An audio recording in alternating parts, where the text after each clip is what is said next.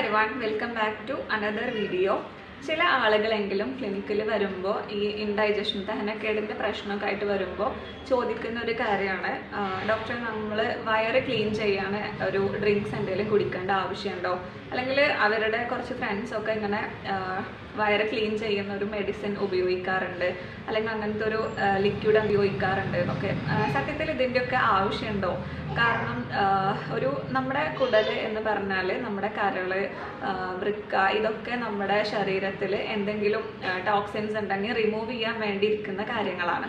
അപ്പം നമുക്ക് ഒരിക്കലും ഒരു എക്സ്റ്റേണൽ ആയിട്ടുള്ള ഫോഴ്സിന്റെ അല്ലെങ്കിൽ പ്രഷറിന്റെ ഒന്നും ആവശ്യമില്ല. കുടലിന്റെ ക്ലീനിങ്ങിന് അത് നമ്മൾ ഹോസ്പിറ്റലിൽ പോയിട്ട് കുടൽ ക്ലീൻ ചെയ്യേണ്ട ഒരു ആവശ്യമില്ല കാരണം നമ്മുടെ ഭക്ഷണത്തിലുള്ള കാര്യങ്ങൾ ശ്രദ്ധിച്ചാലും അല്ലെങ്കിൽ നമ്മുടെ ഫിസിക്കൽ ആക്ടിവിറ്റി കൂട്ടിയാലും ഒക്കെ നമ്മുടെ കുടലിന്റെ ആരോഗ്യത്തിന് ഏറ്റവും നല്ലതാണ്.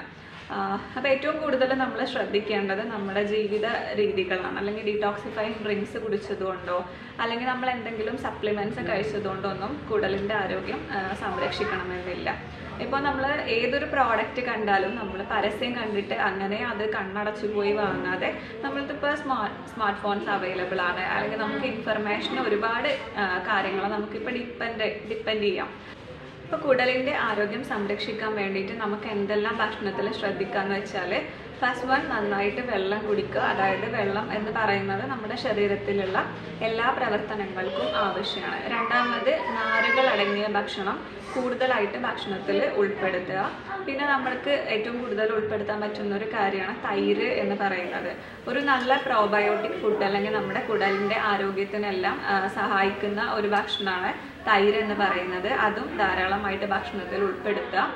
അതുപോലെ പഴങ്ങളും പച്ചക്കറികളും നമ്മുടെ ഭക്ഷണത്തിൽ കൂടുതലായിട്ട് ഉൾപ്പെടുത്തുക ഇനി ഒരു നല്ല വയറിന്റെ അല്ലെങ്കിൽ നല്ലൊരു ആരോഗ്യസ്ഥിതിയിലുള്ള കുടലിന്റെ അല്ലെങ്കിൽ വയറിന്റെ ലക്ഷണങ്ങളാണ്.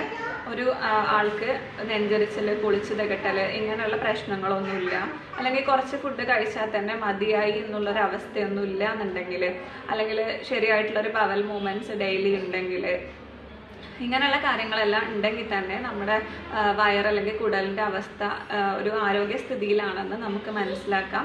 ഇങ്ങനെയുള്ള ഒരു അവസ്ഥയിൽ നമുക്ക് എക്സ്റ്റേണലി വയർ ക്ലീൻ ചെയ്യേണ്ടതോ അല്ലെങ്കിൽ പുതിയൊരു സപ്ലിമെൻസോ ഡീടോക്സിഫൈങ് ഡ്രിങ്ക്സോ കുടിക്കേണ്ട ഒരു ആവശ്യമില്ല അപ്പോൾ ഇത്തരത്തിലുള്ള കാര്യങ്ങളാണ് നമ്മുടെ കുടലിന്റെ ആരോഗ്യത്തിൽ നമ്മൾ ശ്രദ്ധിക്കേണ്ടത്.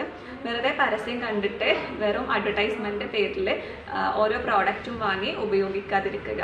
ഈ കാര്യങ്ങൾ എല്ലാവരും ശ്രദ്ധിക്കുക.